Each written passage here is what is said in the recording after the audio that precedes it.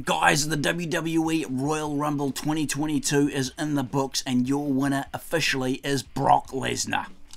Lesnar, after losing earlier on in the night to Bobby Lashley, losing his WWE Championship, he now gets a shot to get it back at WrestleMania. Or you would think it would be more likely he would go after Roman Reigns after what Reigns did to him in his championship match against Lashley. But back to the Rumble, guys. We had AJ Styles coming out at number one. He paid a random tribute to Shawn Michaels with a pose, that trademark HBK pose. So it was AJ Styles at one and Shinsuke Nakamura at two to start this one off. Not a lot of surprises in this year's Royal Rumble.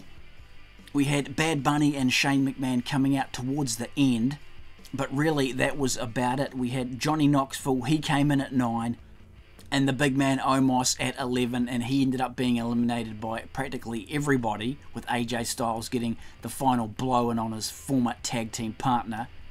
So that was the end of the big man.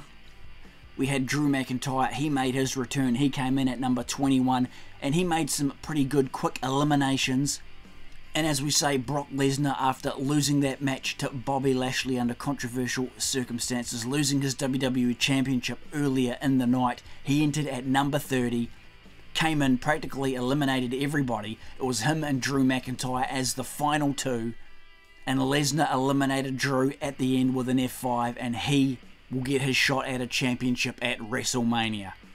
As mentioned before, will Lesnar try to get his WWE Championship back from Bobby Lashley?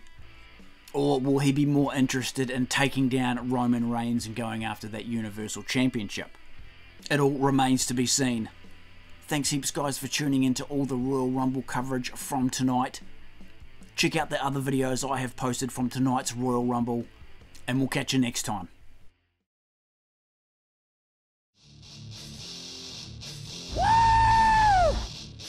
Thanks heaps guys for tuning into the video. Be sure to drop a Scorpion Death Drop on that like button and subscribe to the channel for more awesome pro wrestling action from the WWE, the WCW and much more.